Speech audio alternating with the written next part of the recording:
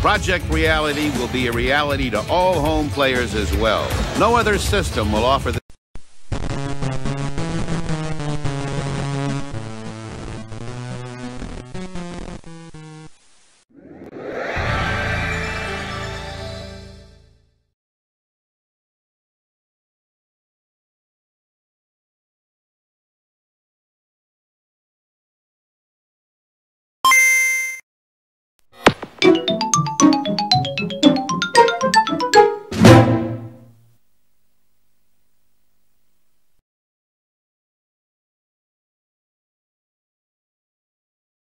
you